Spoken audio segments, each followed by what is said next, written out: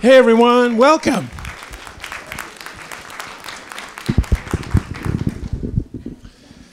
So, are we excited about tonight? One more time. Come on, let's hear it. Let's hear a little excitement. Well, for those of you who don't know me, my name is George Bridges. I use uh, he, him pronouns, and I am lucky enough to serve as the sixth president of the Evergreen State College. Um, and I'm certainly honored to um, provide the opening remarks very briefly at this keynote event for the uh, Evergreen Equity Symposium, our annual symposium.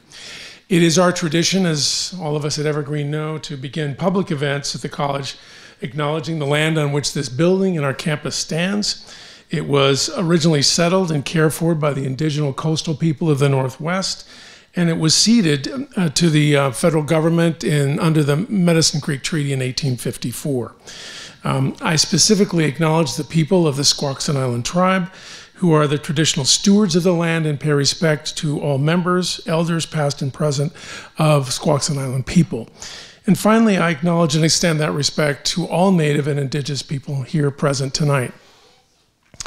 Our Equity Symposium represents, um, in my mind, an integral event, an element of Evergreen's commitment to engaging and advancing diversity, equity, and inclusion on our campus.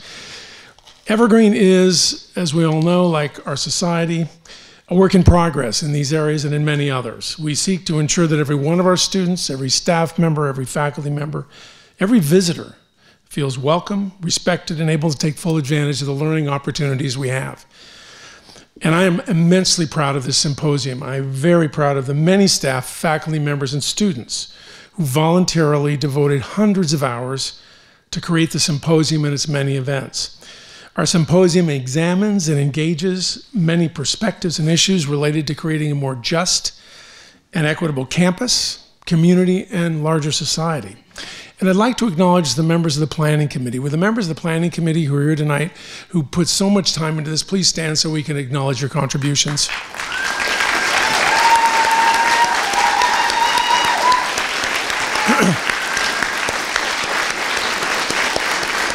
Thank you. Now, everyone knows this, but I'm going to say it anyway. There's a genius, a genius behind and in front of the Equity Symposium, and it's none other than my colleague, Dr. Chastity Holloman Douglas, our Vice President for Inclusive Excellence and Student Success. She is a genius, and she has transformed and had a transformational impact on our college in creating dialogues, programs, and policies with an equity lens aimed at one thing increasing student success.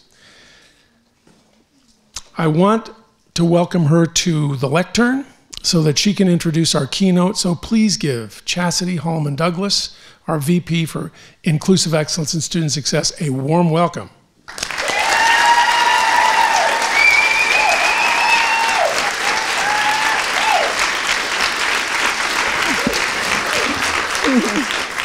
Well, good evening, everyone.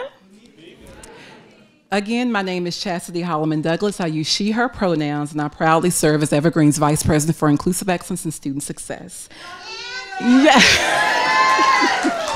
and I love each and every one of y'all. Don't make me get teary eyed right now. Um, I am absolutely ecstatic uh, to welcome each of you to the opening night of our second annual Fall Equity Symposium. The theme for our symposium this year is transforming dialogue into collective action.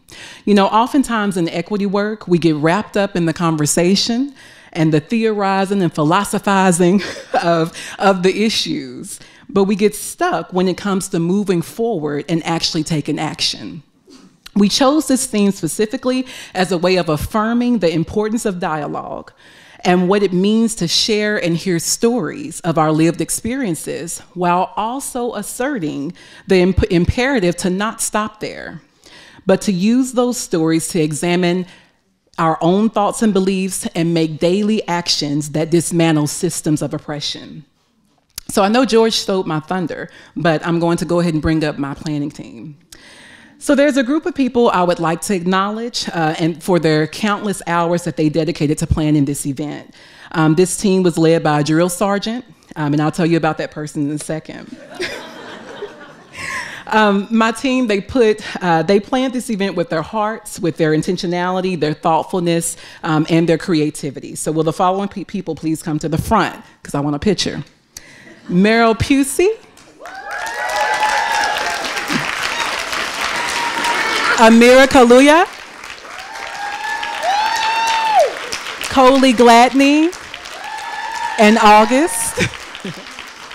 Emily Piper, Makaira Gaines, Jackie McClenny, Javier Womadoff, and our drill sergeant, Hannah Simonetti. You all, let's give them one more round of applause for the work that they contributed to this.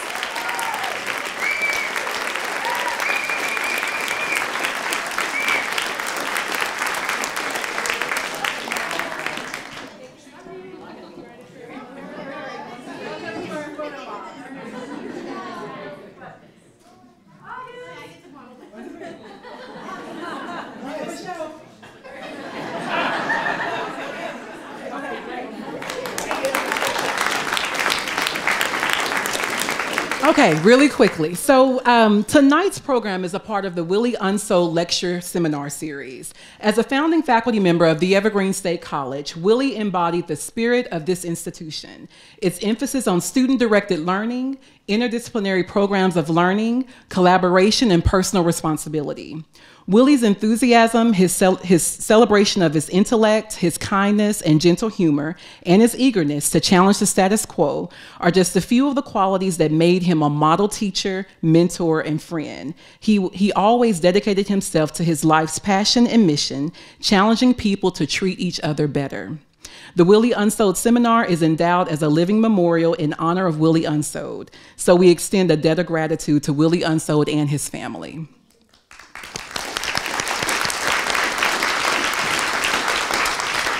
And now for tonight's feature presentation. Tonight we, uh, we have the honor of hearing Nikkita Oliver.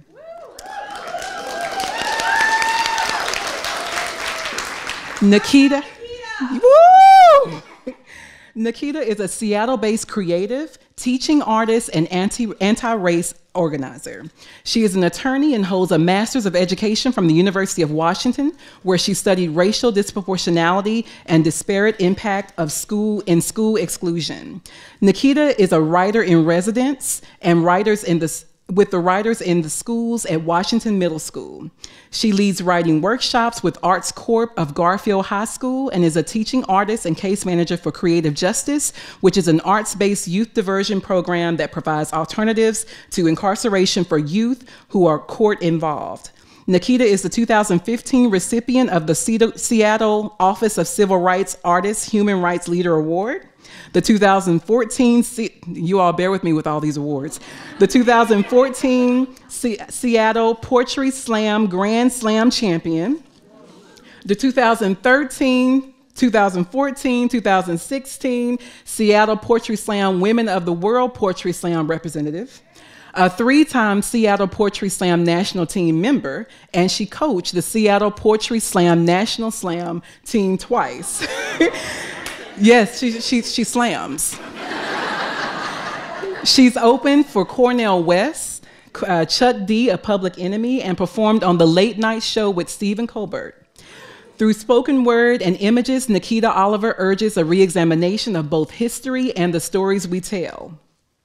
Nikkita states, not, not all stories are created equal, some are greater than.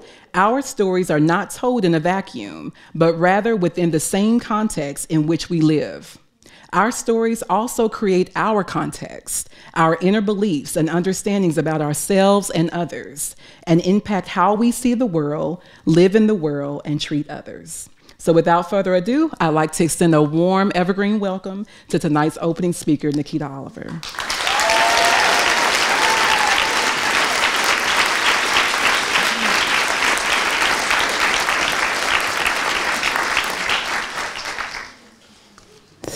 Good evening, y'all. How's it going? Great. Wow, I'm going to try that again. Good evening, y'all. How's it going? All right. All right. if y'all would do me a favor and get comfortable. Some of y'all were like, yes. Uh, feel your feet on the ground, if that's where your feet are, or you're back in the chair, or your head attached to your body. Hopefully, that is in place. Um, maybe feel the palms of your hands, and when you're ready and you feel comfortable, if you wouldn't mind closing your eyes. But don't go to sleep.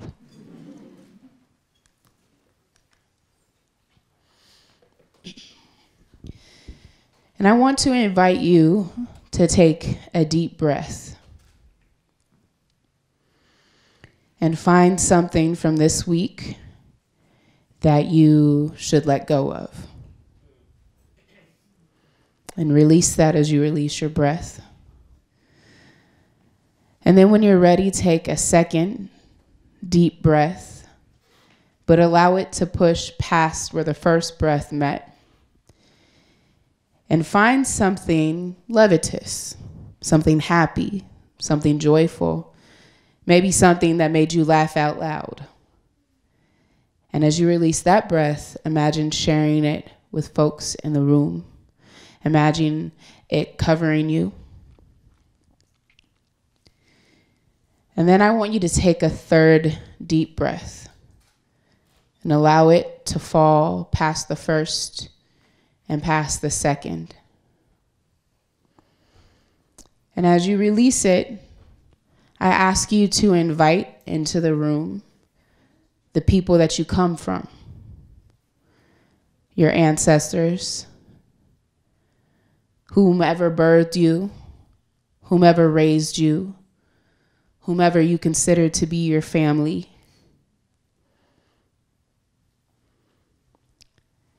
And while that breath is still in the room, I want you to think about the land that we stand on. Land that is not simply the traditional land of a forgotten peoples, but land that is the present land of those peoples. And I want you to think about the school that you sit in. One of my elders contributed to it, Dr. Mims, so I call her into this space. And I want you to remember all the black bodies that were brought here as stolen peoples and treated as property and used as capital to build these places that we live in. And I invite you to take one more breath and allow it to be a sobering breath that brings you firmly into the present and the here and now for the conversation we're going to have together. And when you are ready, open your eyes. Sometimes it's so confusing living in between, brushing up against what is seen, but it's punching me. Though my purpose goes beyond floating like a butterfly and stinging like a bee, I know it's hard to see. Warrior blood on the ground, rows of concrete, tear up these streets, our greatest power being naturally. As we are who we be, grow with purpose, we build and we grow. For the children we owe, a world we don't know, before the seeds that we sow and the tears that we cry water the lost souls of time. Reclaiming, reroot, and what we know is truth. The blacker the berry, the sweeter the juice. Pull from inside more than our skin. It's a culture and vibe. We're on a quest. We come from a tribe. Our hope won't subside. It is the moon and the tide. We ebb and we flow for the purpose of life. To love and be loved. To love and be loved. To love and be loved. To love and be loved. I always start with love. Because the reason we should do this work of equity is out of love love for ourselves and love for others, bearing in mind that if you cannot love yourself, you cannot love anyone else. So love must first start with you. The excerpt that I just spit for you comes from a poem or a song called Nia. Does anybody know what Nia means? It means purpose. It's one of the seven days of Kwanzaa here in the, U- in the United States.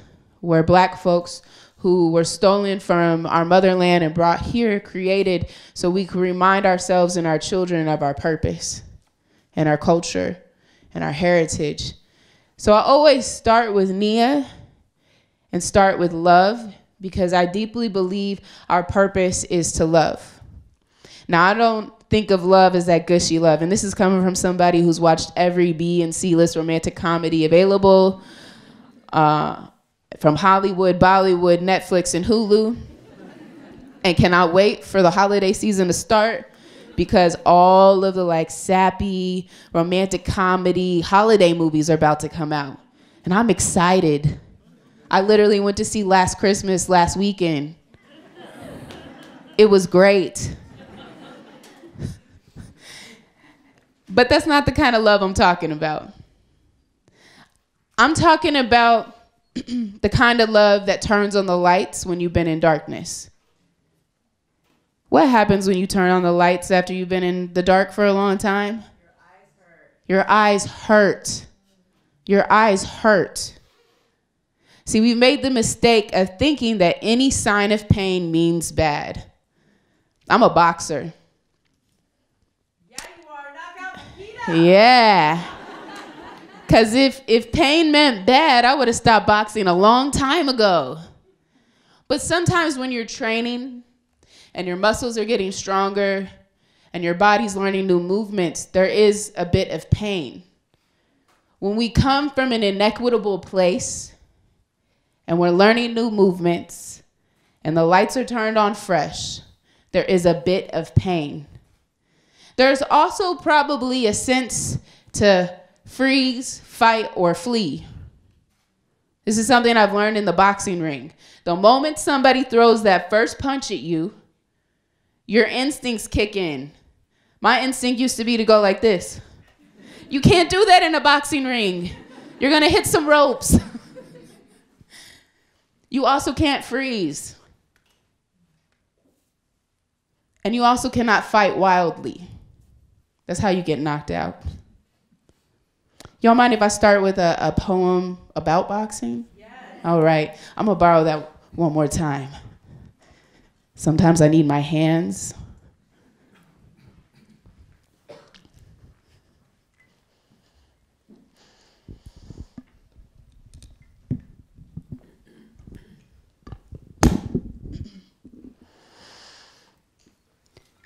When I tell people I'm a boxer, they almost always ask me the same three stupid questions.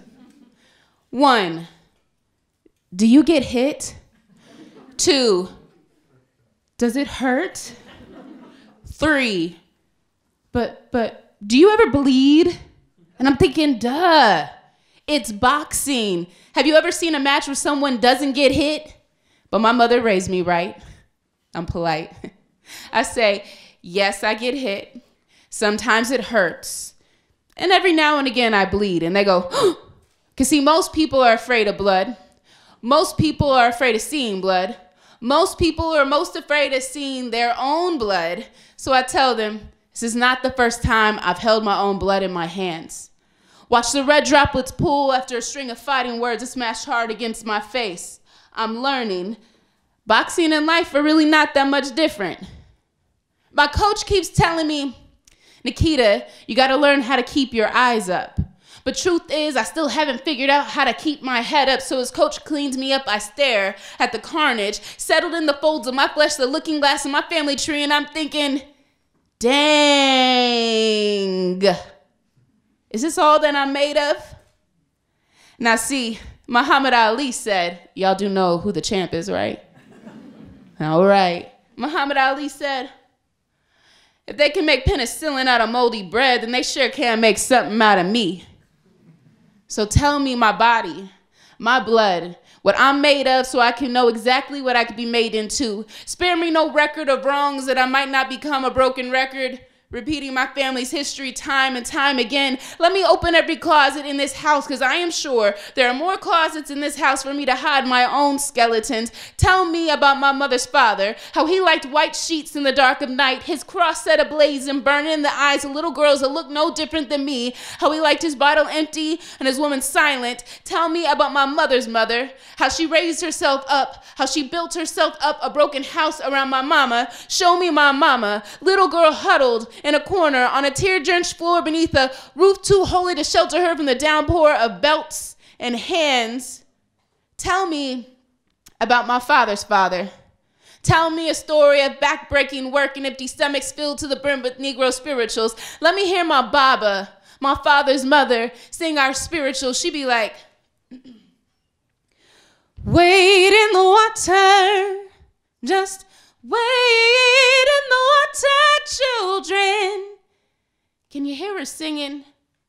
How she raised her children up high above corn, cotton, taught them to flee the fields of Louisiana for the rubber factories of Indiana. Show me the glint of promise on their brows as their hearts beat hard against rubber, flex, melted down to once again be plow and ox. Let me feel how cotton plastic. Feel no different against your palms when your bootstraps still refuse to fit this so called American dream. Please show me just one dream. How black and white have always been the making of a classic movie. Show me the stars in my parents' eyes when they found out they were gonna have this sweet but sick little baby. And my father, so used to fleeing danger, he cannot figure out how to stay firmly put. Teach me how to stay firmly put. Remind me I am a boxer, I am a fighter, that there is no rot or rust or mold that I cannot transform, that rot, rust, mold have been made into medicine. Remind me that I am my own medicine. I am my own medicine. I am my own medicine.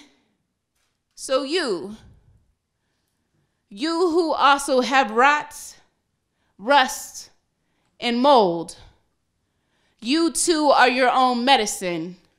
And together we are the greatest medicine we could ever need.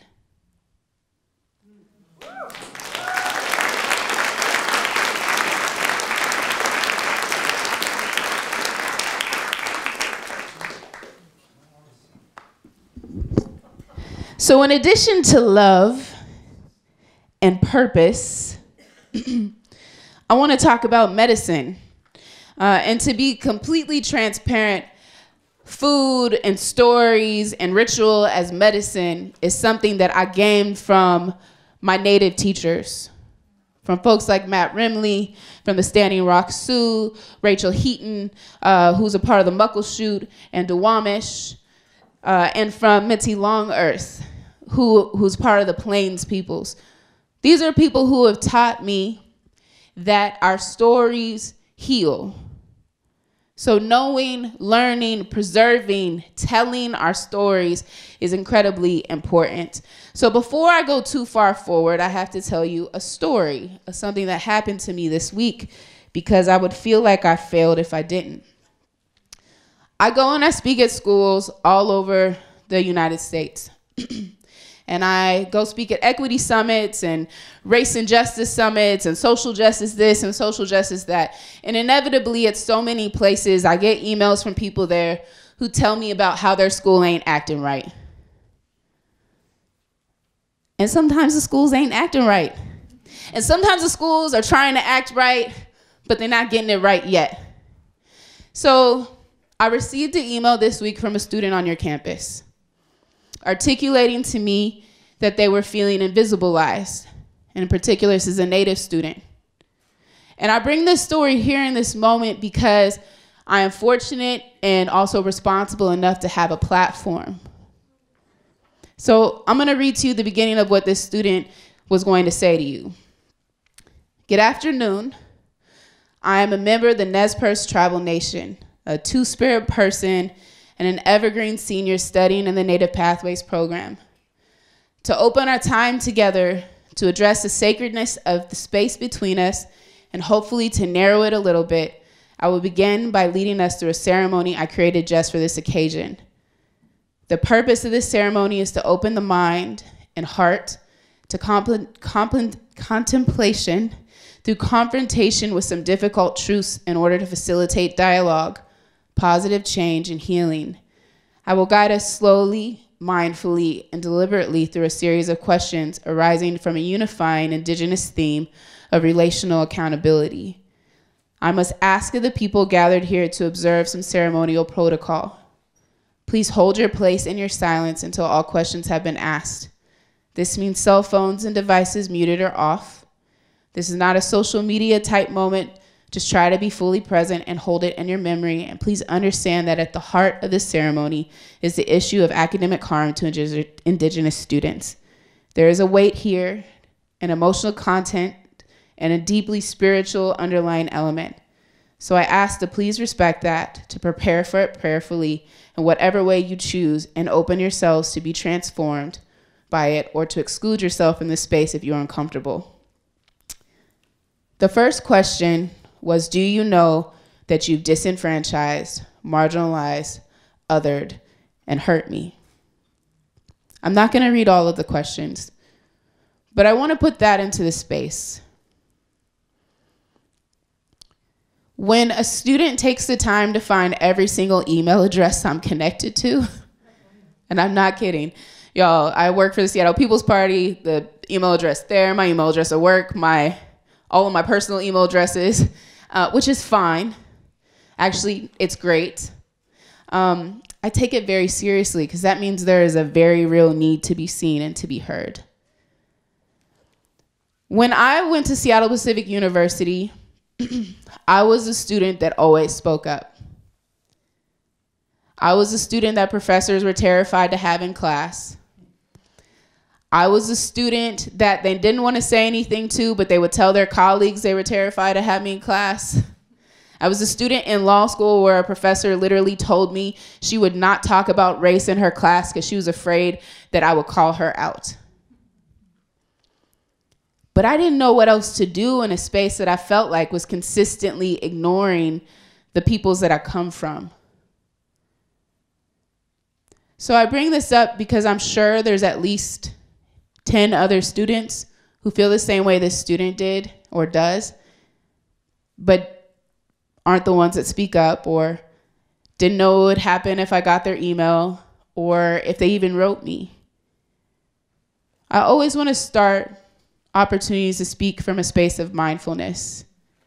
That there are people in the room who feel invisibilized, who feel like their story doesn't matter or their voices are not heard. I also want to say the fact that y'all are having this equity summit in light of some of the things that happened a few years ago show your tenacity and your resilience to continue to engage this conversation. And I want to push you to engage action on it even further. Word? Word. Cool. All right, y'all got so quiet on me, it felt intense. So I really hope that this encourages the folks that are here to pay um, some close attention to some questions about how our Native students feeling on this campus, how our Native professors feeling on this campus. One thing I noticed in the students' questions was that there are, according to the way their experience, there's no full-time faculty focused on Native youth. So I don't know if that's true, but that's a need. Word, you can take action on that like tomorrow. Everyone take a deep breath with me.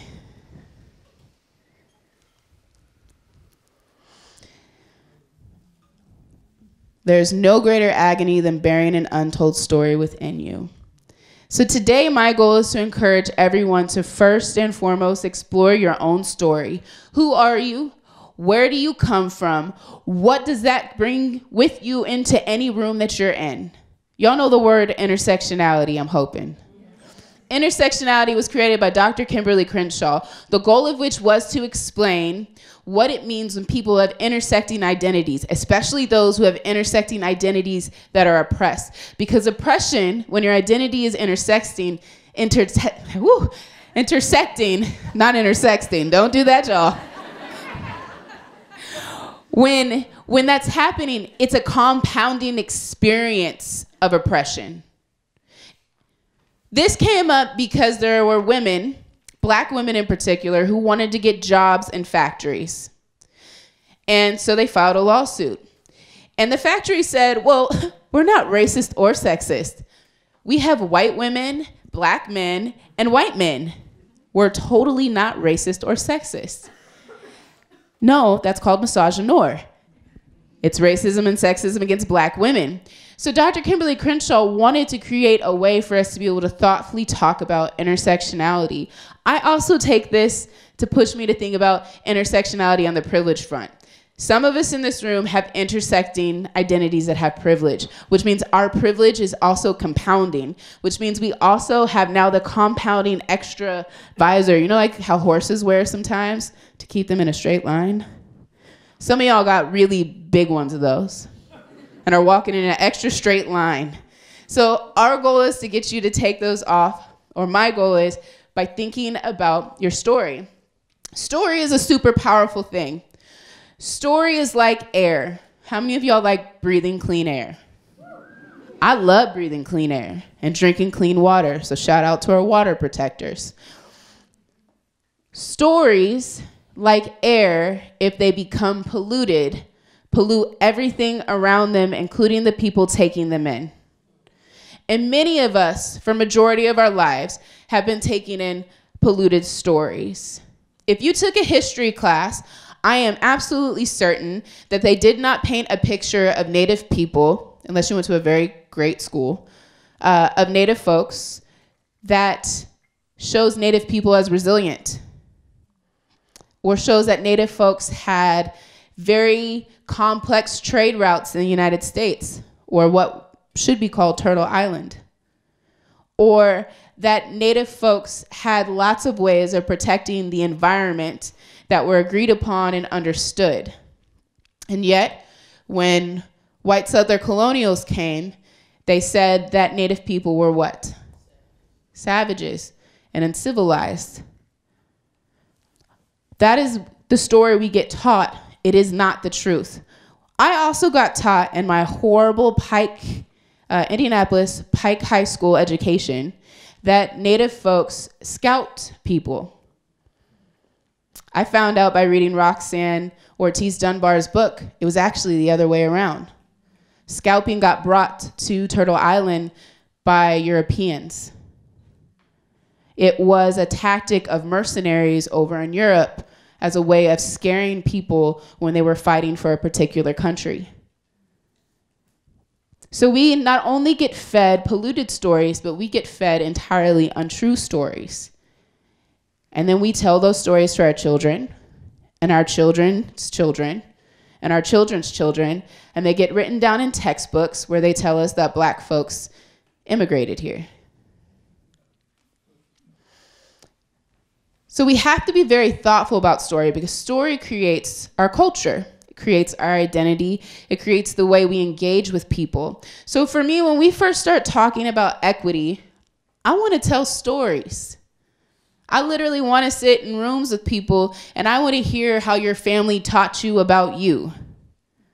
I want to hear what story you think of when you think of yourself. For a long time, as I was growing up, I I'm almost ashamed to tell y'all this is what I read in elementary school. I read every single book of the Babysitters Club. So in my head, when I imagine myself, sometimes I imagine a little white girl. To my shock, I look in the mirror. It's not a little white girl with blonde hair that can like a comb can nicely go through. So even the stories we read and we teach our children that we give them to read can affect the way they see themselves, the way they see other people, the way they interact with people, because that's the image we give folks in their heads. Words, I'm a lawyer and a poet, words create our reality. So here are the four parts of story. A story is a vessel for information. A story creates an emotional connection, which is why I love B-list romantic comedies. Stories create our cultural identity, and stories are entertaining. So I'm gonna tell you a story. I want you to imagine two folks a thousand years ago, but I'm gonna call them Brian and Kevin. I don't think that was their name a thousand years ago, but that's my name for them. Brian and Kevin are uh, traipsing through the brush. They're looking for food, like they do every day.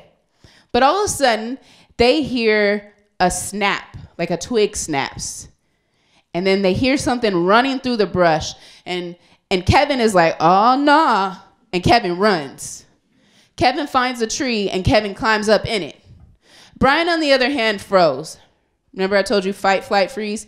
He froze. And Brian gets ate. Ate all up. Brian is gone. Kevin stays up in the tree until he thinks the thing that ate Brian is gone. Kevin comes out the tree and he goes back to the village where he lives. And he's like, Y'all, Brian is gone. Something up in the brush ate him. I heard a twig snap and I ran and I climbed in a tree.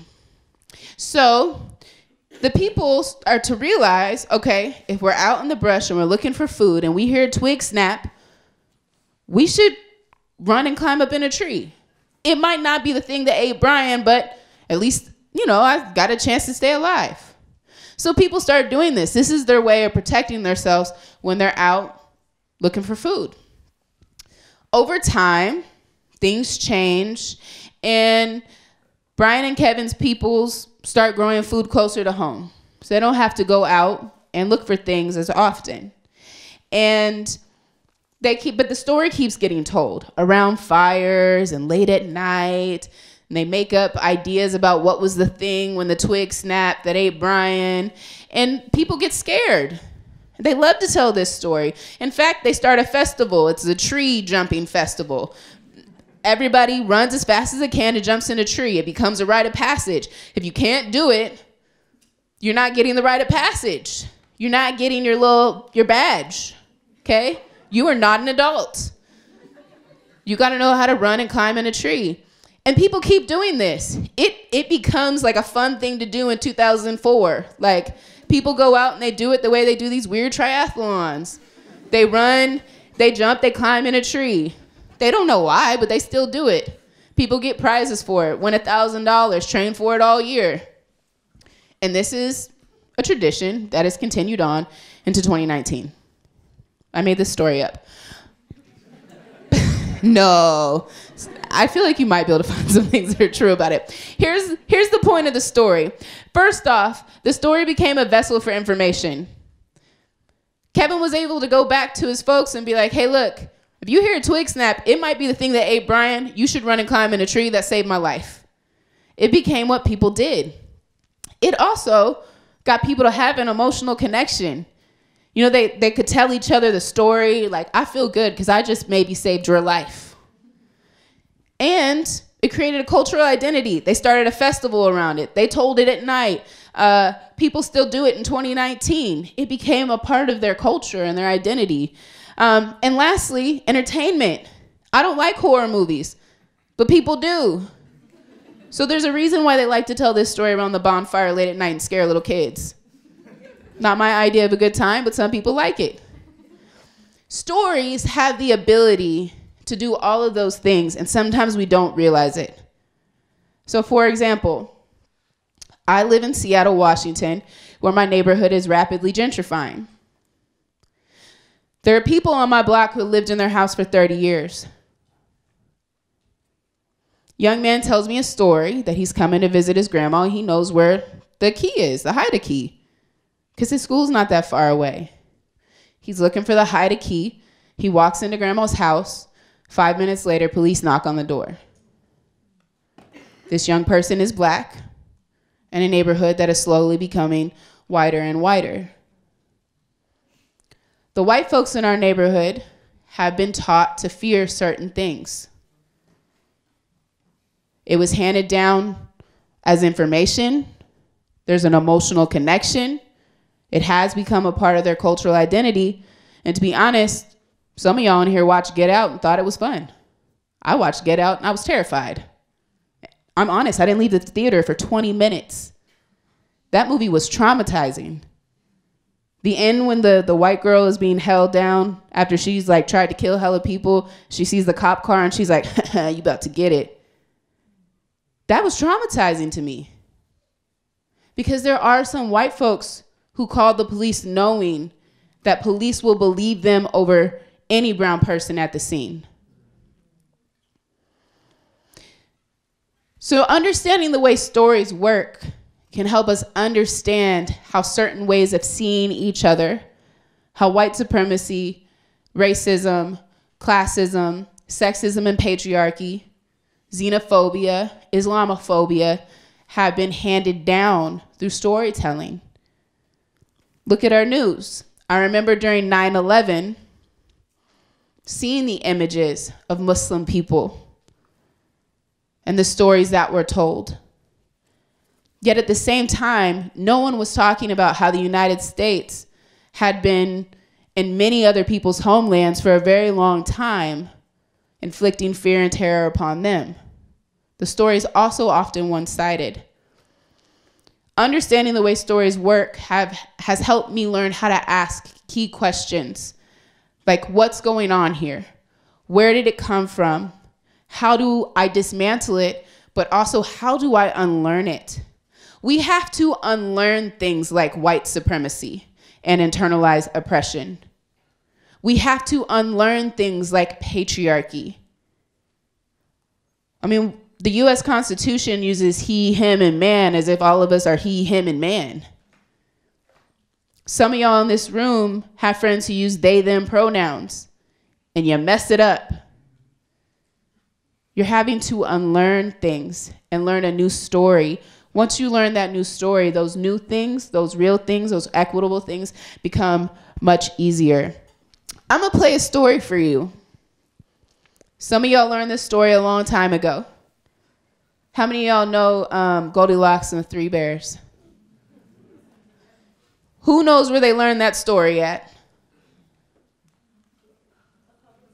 A public school. Anybody, raise your hand if you remember exactly who told you this story. Raise them high. Okay, so like seven of you know exactly who told you this story. I want you to watch it closely. The story of Goldilocks and the Three Bears. Once upon a time, there was a little girl named Goldilocks. She went for a walk in the forest. Pretty soon, she came upon a house. She knocked, and when no one answered, she walked right in. At the table in the kitchen, there were three bowls of porridge. Goldilocks was hungry. She tasted the porridge from the first bowl. This porridge is too hot, she exclaimed. So she tasted the porridge from the second bowl. This porridge is too cold, she said. So she tasted the last bowl of porridge. Ah, this porridge is just right, she said happily, and she ate it all up. After she'd eaten the three bears' breakfasts, she decided she was feeling a little tired. So she walked into the living room, where she saw three chairs. Goldilocks sat in the first chair to rest her feet. This chair is too big, she exclaimed. So she sat in the second chair. This chair is too big too, she whined. So she tried the last and smallest chair. Ah, this chair is just right, she sighed. But just as she settled down into the chair to rest, it broke into pieces. Goldilocks was very tired by this time, so she went upstairs to the bedroom. She lay down in the first bed, but it was too hard. Then she lay in the second bed, but it was too soft. Then she lay down in the third bed, and it was just right. Goldilocks fell asleep. As she was sleeping, the three bears came home. Someone's been eating my porridge, growled Papa Bear. Someone's been eating my porridge, said the Mama Bear. Someone's been eating my porridge, and they ate it all up. Who leaves the bowl baby upside bear. down? Someone's been sitting in my chair, growled the Papa Bear. Someone's been sitting in my chair, said the Mama Bear. Someone's been sitting in my chair, and they've broken it all to pieces, cried the baby bear. They decided to look around some more, and when they got upstairs to the bedroom, Papa Bear growled, Someone's been sleeping in my bed. Someone's been sleeping in my bed too, said the mama bear. Someone's been sleeping in my bed, and she's still there, exclaimed Just Baby smiling. Just then, Goldilocks woke up and saw the three bears. She screamed, Help! And she jumped up and ran out of the room. Goldilocks ran down the stairs, opened the door, and ran away into the forest. And she never returned to the home of the three bears. The end. Well, I cannot believe we we teach children this story when I thought about it. All right. Goldilocks walks up to a house that isn't hers. Knocks on the door, no one answers, and she just walks in. I'm a lawyer. I work with kids in the criminal legal system trying to help them get free. She just broke and entered. Now, I'm not advocating that we call the police, but I'm just saying she broke and entered, and nobody bats an eye at it. She continues on her on her way. Also, somebody explain to me why a little white girl is skipping through the forest by herself. No one thought that was unusual. Like people call CPS on on little children at the park alone, let alone skipping through the forest. Anyways, I digress. So she's just entered the house without permission. There's food on the table, and she's like, I'm hungry. I'm gonna just eat it. She tries every bowl, eats the last one, and then in this video, they have the nerve to leave the bowl upside down. Goldilocks has no manners, didn't even put it in the sink. Then she's like, I should sit down. Goes up in the spot and sits down in all the chairs and breaks the smallest one malicious mischief. Okay? She's just racking it up right now. She might need to come to my program. Then Goldilocks is tired. She's broken entered. She's broke a chair. She ate all the food. She got the itis. Okay? And then she decides she should take a nap. She tries every bed, and it doesn't even say she took her shoes off. She climbs in the bed with her shoes on. Oh my goodness. And then she stays there, finds a bed that works for her, and she's she's asleep. And the three bears come home. They're like, oh snap, the door is open. Did we leave the door open? That's what I would have thought. Because sometimes I'm in a rush leaving the house. I've left my keys in the door. That's on recording. Never do it again. So, you know, they probably, you know, maybe they question themselves. I'm reading the subtext here. They go in the house. Now they know they didn't eat the food because they left it there to cool. They see the chair is broken. They see their beds are all messed up. And then Goldilocks is in the bed in the bed and has the nerve to run away scared. We teach this story to children. We call the main character Goldilocks. She almost always, actually, I've never seen a brown Goldilocks. She always has white skin, blue eyes, and this blonde curled hair. We're literally teaching it's okay for white folks to do this, and then that brown folks can't be mad about it. Some people will say I'm reading too deep into this. Let me tell you why I don't think so. The original story of Goldilocks and the Three Bears was actually about three bachelor bears. It was a poem. It was an oral story first that later got written down. And it was in it was over in England, over the pond. And they tell the story, and it's not Goldilocks in the story, it's an old silver-haired woman. And everybody knows that there's three bachelor bears living out in the woods, and most people don't go mess with them. But the silver-haired woman goes and knocks on the door and is like, yo, let me in. And they're like, no. And then she's like, no, let me in. And they're like, nah. So then they like go out and she goes in. And then they come back and the story ends with, you don't know what happened to the silver haired woman. The point of the story is if folks is like, don't come in my house, don't go in their house. Especially not three bachelor bears. But the story then gets written down. The the research that I've done says that an auntie wrote it down for some some for her nieces and nephews. And the story starts to change from the original oral story. And as it makes its way to the United States, not only does the story change to Goldilocks and the Three Bears, but it's given images. And the images look a lot like the ones we saw in this video. Maybe not as cartoony, they were like kind of real art first and then cartoony art. Um, and you start to see the way the story shifts as you add images to it, the image of who was in each role begins to shift. And in the United States, when you read police reports of folks who have been shot by police, they say they looked what? Suspicious, threatening? What kind of threatening? Like a monster or animal like. So then you think about the fact that this story has shifted so much from its original story. Almost everyone in this room knew the story, and only like seven of you knew where the story was told to you. Now, I'm not going to say that people who rewrote the story did it on purpose because it was like their grand master plan for white supremacy.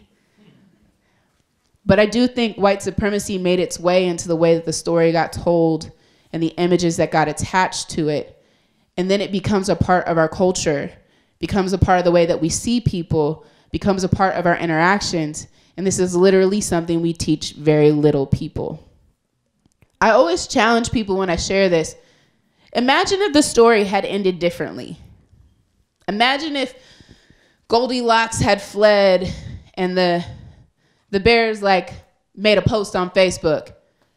Yo, Someone who looks like Goldilocks ate up all our food, broke our chair. And then Goldilocks' parents see the Facebook post and they're like, Goldilocks, you gotta go apologize. And you gotta fix the chair. And you gotta play with Baby Bear. And you gotta mow their lawn for a year. What if there was some sort of relational accountability attached to the story that required Goldilocks to account for her behavior? and humanize the experience of the bears. How terrifying would it be to have someone in your house break your chair, eat your food, and then still be sleeping in your child's bed? And then we tell the story like, that's okay, that's Goldilocks. But we do this.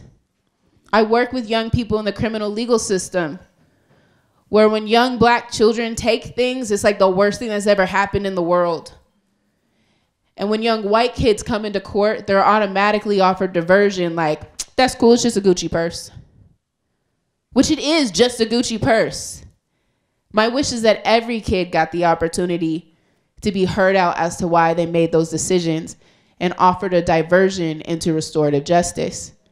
But that's not the world we've set up with the stories that we tell.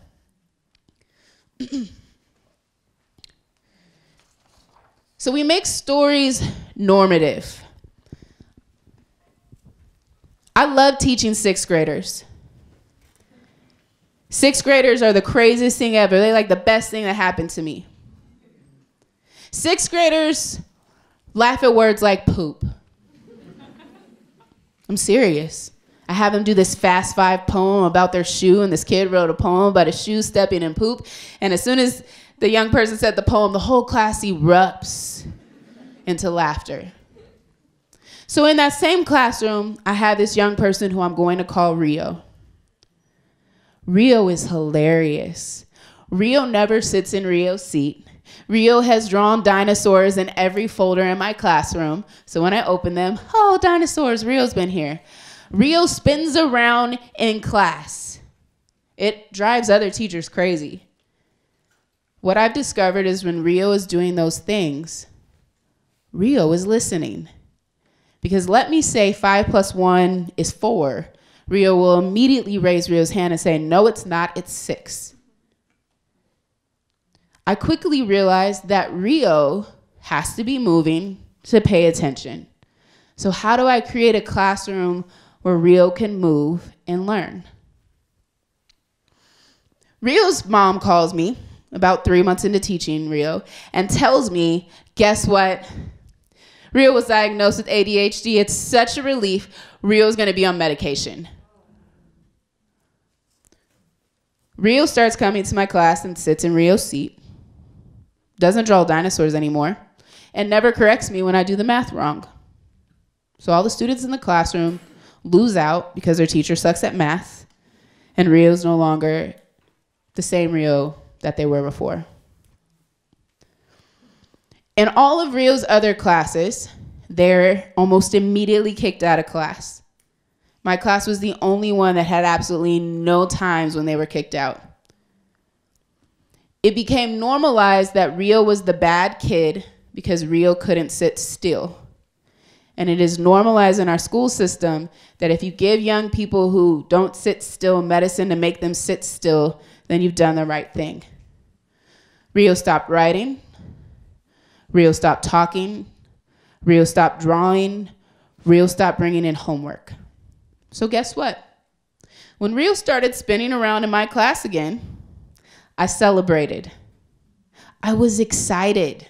Other teachers like, oh my God, they're moving every time I speak again. They'd be in the staff lounge just losing their minds. And I'd be like, oh, Rio was great in my class. Rio started doing homework again. Rio started drawing dinosaurs again. And Rio left my class with an A. I usually do a poem to tell that story. Mostly because poop is hilarious and y'all laugh when I say it. The point of that story is to get us to also rethink in moments where we're not even realizing we're applying things. How many y'all are going to be school teachers one day? Some of y'all are like, I don't know. I'm at Evergreen and I got an experimental undergraduate degree. I wish I went to Evergreen, y'all. It's not too late. 35 and going back to undergrad, yes. Uh, my mom would kill me. Thank you. My mom would be like, You have a law degree, please stop it. we normalize things through story, and then we normalize them into law, and we normalize them into medicine. And we create, create all these instances where we think what we're applying is accurate. We teach people that they are wrong because of how we expect other people should be. I'm gonna finish with this story and then do a poem. A dandelion is a weed or a flower. Weed or a flower. All you third people over here, I don't want to hear you right now. You were told it was a weed. Someone said it's a flower. Someone said it's food. Y'all say it's medicine. I'm actually really excited about this. This means our norm is changing. When I used to first bring up dandelions, people would always say weed. Dandelions are amazing. We've labeled them a weed. We've told a story about them. People who have yards hate them.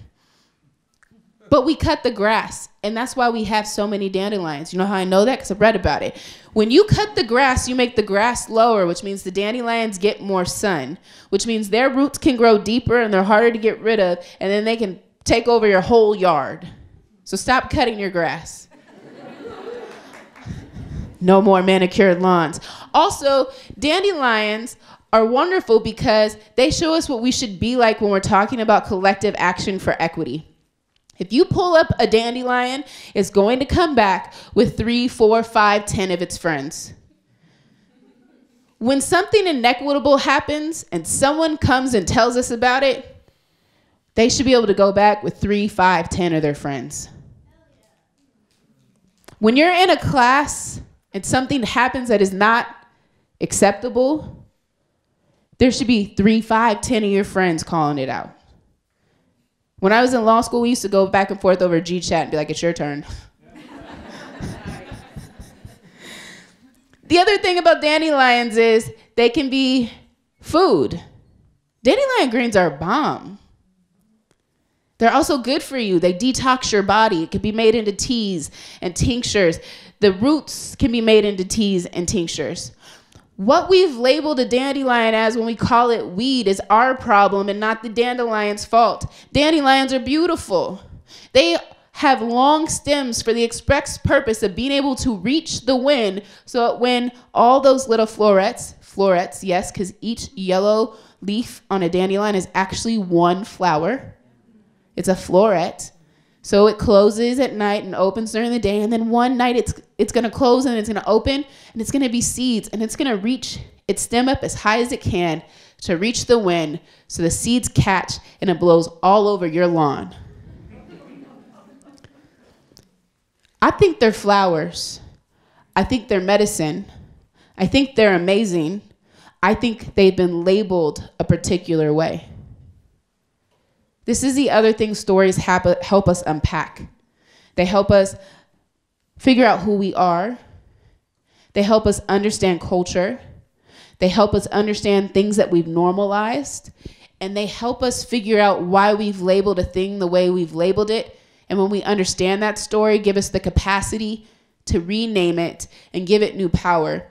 The things that we name something, what we name a thing, gives it power, gives it the ability to control things or be controlled. It makes it a target. When a dandelion is a weed, it is a target. When a dandelion is a flower, it is something to protect and guard. When a dandelion is medicine, it is something to cultivate.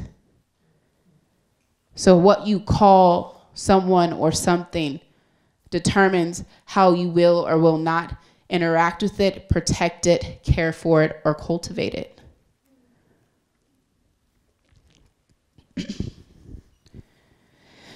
Let's go down to the river to pray. Studying about those good old days and who shall wear the golden crown. Good Lord, show me the way. Oh, family, let's go down. Let's go down. Don't you want to go down?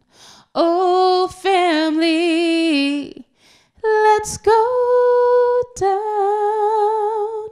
Down to the river to pray. I can hear my auntie in the back of the chapel singing. My Baba leans over to me and she says, Baby, Let's go down to the river to pray. We make our way down the mountainside into the valley below.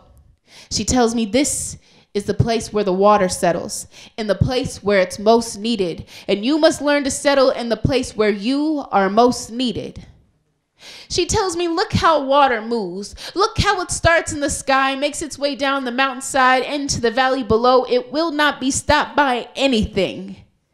Watch how water moves over, around, or through a thing if it has to, and you must learn to move over, around, or through a thing if you have to.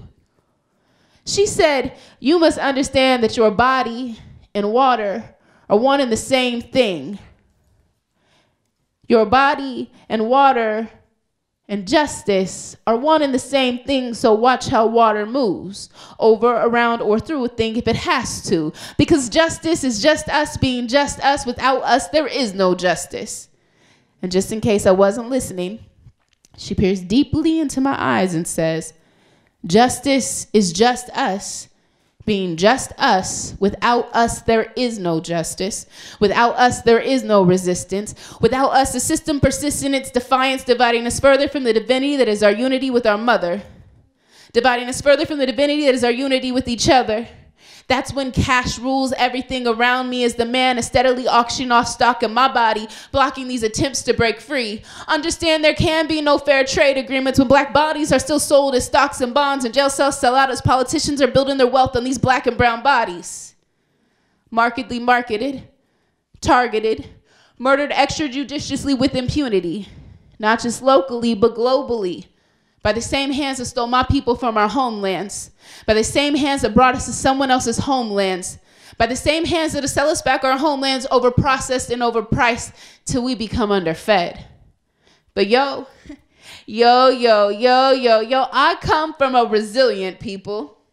A still living people. I still hear people in land of the brave, the home of the slave. Shit.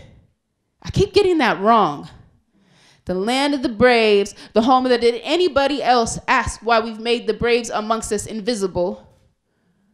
Why we don't tell their stories? Why the rivers round us run red with blood? See, we don't ask so they don't have to tell the truth. It's these politics, many ticks blood sucking politicians where the only thing redder than their fangs is their blood-stained hands. Look at them elbow deep in the cookie jar. Let's call it capitalism. Who pays the tolls for the feudalism while the 10% prosper on bodies and profits while the race of us rest at the bottom and chains and body bags be placed much more than six feet deep amidst more fair trade agreements where the only thing fairly traded is our rage against this machine, a machine that will have us believe you will never be enough, you will never have enough. But see, enough is enough is enough, is enough, is enough, is enough if we would just say it was enough. Enough. Baba stops me. I'm on a whirlwind, caught up in all of her words. And she says, Baby, I want you to look in the water. What do you see? I think it's a trick question. Baba, I see me. It's like a mirror. She says, That's right, baby. You see you. Water, your body, justice, love are all one and the same thing. And if you cannot learn to love yourself, you cannot love anyone else. And if you cannot love anyone else, you cannot be justice because justice is what love looks like in public. So, baby, learn to move like water. Learn to be like water. Learn to groove like water over, around, or through a thing if you have to. But if you do anything, love yourself so you can love someone else. Because justice is just us being just us. Without us, there is no justice. Justice is just us being just us. Without us, there is no justice. For all the ways we can get stuck in our heads about what equity is, it really is so simple as a story, as understanding who you are in it as understanding what story you're living in and what stories other people are living in with you, and then choosing to be just us. Justice is a choice. So is living an equitable life, y'all. Justice is just us being just us. I encourage you this this next 2 days to be like water. Move over, around, or through a thing which may very well be yourself and your own preconceived notions if you have to. Thank you, y'all.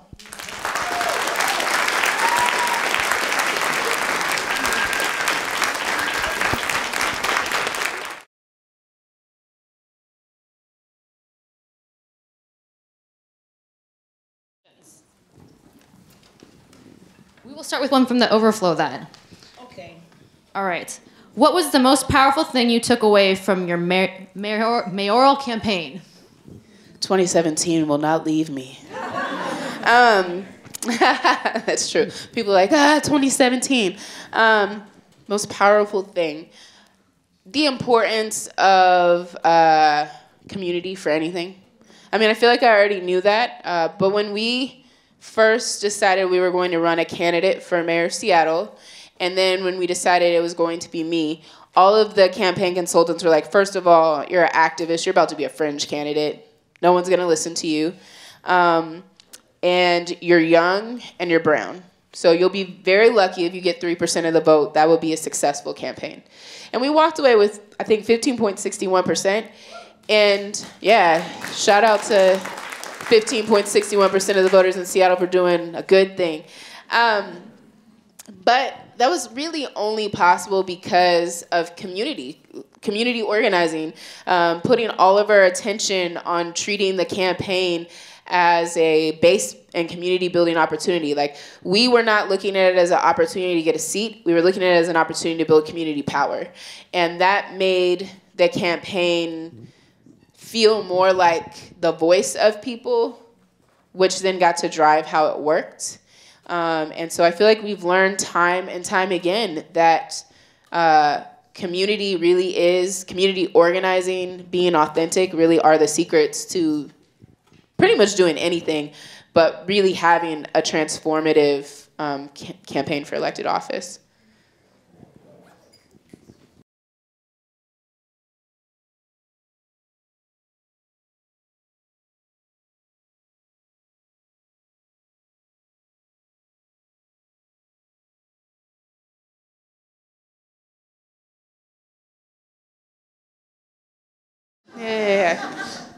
You're not too much.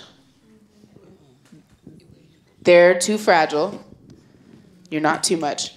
Um, so Seattle Pacific University, when I got there, was four percent students of color, like all students of color, everybody. We were all on that four percent. So anytime I saw a brown person, you might see me run across campus like, "Hey, come to my club." like I was known for chasing people down on campus. Like, you look lonely. I know I'm projecting. Um, and so uh, I would say my first organizing, my first experience organizing was on my college campus. Um, also, I feel like we've organized over Facebook. Yeah, yeah. Y'all might, Sana be on it. On all this stuff in the Pacific Northwest. I'd be like, dang. Yeah, okay. So, um, you're not too much. People are just very fragile. And in environments like an isolated college campus, uh, when people are calling you too much, it can feel like that is what you are, because that can become the narrative on the campus. I survived Seattle Pacific University by finding all the other too much people. Everybody else who got called too much, that's my homie. Um, and we did a lot of great work together. Uh, sadly to say, only 50% of the too much people at SPU graduated because it was not a place that welcomed us in. Um, I will say, almost 15 years later, they did use my image a lot, and they're up to 23% students of color. that sucks. Um, I mean, not the 23% part, but you know, my face on their stuff. Um, there's no easy answer for that. There's other than build community, find the other people who want to disrupt and dismantle as much as you do and make it fun. One night we snuck into all the buildings. We put up on every wall. Uh, y'all are mad about affirmative action, but white people had it for 200 years. Y'all, I was extreme in undergrad. um, and people went around campus tearing them off computer screens. Like people were mad. They were crumpling them up, throwing them on the floor. You know, like who would do this? And in the back of my mind, I was like me. and all the other folks that did it with me on campus walked around that whole day like me. And there was just there became a level of camaraderie that we found in knowing like we're just gonna do this work. And because of that work, SPU definitely grew. Um, I'm an agitator. I accept that that is part of what I bring to the world. It doesn't mean it's not painful. It doesn't mean it's not isolating or marginalizing. Uh, it doesn't mean that I don't have, I mean, at the end of the campaign, every Friday night, I think I cried my eyes out every night. Every, every Friday night. By the time we got to the last month, there wasn't a night where I wasn't like, I'm the candidate nobody likes. Um, I felt that my whole life. What makes it better is being in organizing communities. I'm with other radical people who want to see a radically transformed world. And when I look at the news and I see like cities all over the world right now are are rising up, we're about to reach the 20 year mark of WTO in Seattle. Sometimes it takes people willing to crack it open to make the change. And History has taught me those are the people that silently suffer the most. The most important thing we could do is in moments like this one, when you have space to be honest, is be honest because I guarantee you there's at least seven other people in the room who feel like you.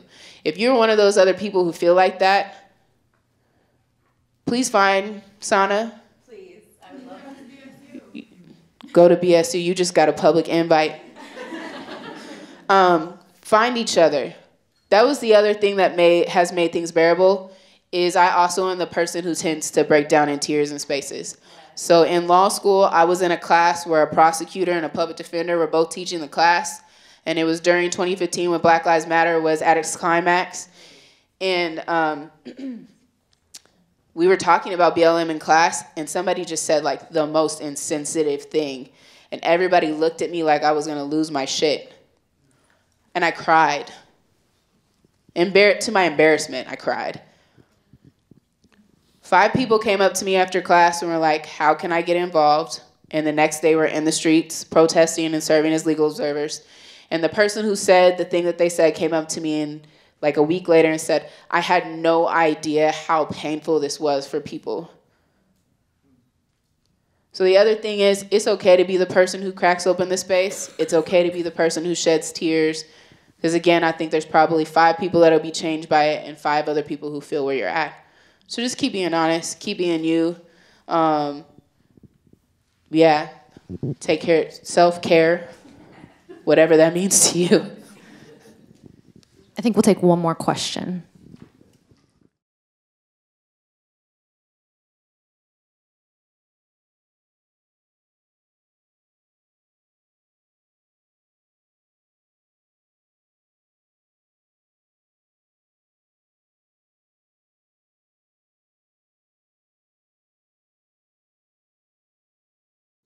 So I don't give in to hegemony.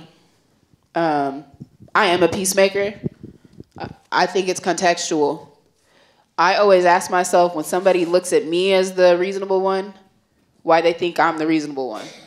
And it's often because I'm the lightest skinned person in the room with the highest number of degrees, um, dressed in the most businessy clothes. So I also think we have to be cognizant of when when we use words like peace or peacemaker or threaten, sometimes people feel threatened not because I, I I I don't yell at people, y'all. I literally will sometimes just say white supremacy, and people are like, oh God. so I think it's important to I want to put that in context first. Um, I'm hella light skinned for a black mixed person. And that comes with a whole lot of privileges. And there are a lot of times when I am the person in the room that I don't want to say I play peacemaker, I play translator. Um, I was in a legislative summit, uh, slummit, a legislative, it felt like a legislative slummit, legislative summit. I had Freudian slips tonight, man. Whew. Intersexting, I don't know what I was thinking. It just, yeah, all right. Um, uh, there was a woman in the room. So this summit was supposed to be for people of color, and they had put racial justice and criminal justice in the same room, as if racial justice was not important to all people of color in every facet of everything we do. And there were people talking about important criminal legislative things that needed to be moved through, but we're doing it on the backs of black folks who were not going to benefit from that le legislative change. By that, I mean, we will put laws in place that have a lot of compromises in them, and it ends up helping people of color, but it's anti black as fuck. Or even anti native. And so this woman spoke up and was like, you know, the what you want to push for sounds really important. It sounds like you don't have an analysis about anti-blackness and the impact it could have on black people. I don't want laws passed on the backs of black folks, but that don't benefit black people. And everybody in the room seemed like they were about to lose their mind. And I heard what she was saying. So I said, um, Peace, sis, do you mind if I try to help these folks understand where you're coming from? Because I agree. And she was like, That's cool because we know each other. And I ended up explaining to them what she was saying. What's wild is I used absolutely no different words. And all of a sudden, all the folks were like, oh, yeah, yeah, that makes sense. That's true. That's true. We need to have a different kind of race analysis for this particular thing. And I was like, yo, my sister here literally just said exactly what I said, and you couldn't hear it because her who she is as a black woman, as a dark-skinned black woman, made her voice sound louder. So then the next thing I needed to do was say what I just said to you. I encourage those of us who sometimes play peacemaker roles or in those positions to also be the ones who call out things because we are often the ones who have some kind of privilege in the space. And if we're not calling those things out, we're actually reifying the wall around justice. We are making it harder for those folks most distanced from justice who have the least amount of proximity to advocate for themselves. My goal in everything that I do is to get to the place where the most impacted person gets to do the advocacy and solution building. I'm often not the most impacted person in the room. So if people are coming to me, it's probably because just by virtue of who I am, they feel less threatened by me and more threatened by someone else. And part of dismantling these systems that function on hegemony is to both help translate and for better or worse be the person who says no matter how you say it is the person who says what you just did was very racist and sexist and here's why. Um, and for me that is a multifaceted peacemaking because i never would have wanted my sister in that room with me to feel like I left her behind or have any resentment towards me. In fact, I would rather the folks in a privileged position to feel some kind of way about me than her. Because at the end of the day, the person who's probably got, got my back right now in this moment is her. Um, so, what I would encourage is be thoughtful, always ask yourself about your analysis. Um, and if you find yourself always being the person in that, that bridge role, also be critical of it, be analytical of it, because sometimes that means that you're also the person those folks feel safe with, and there's a reason why they feel safe. Um, and as a black mixed person who has the degrees that I have, sometimes people feel safe with me.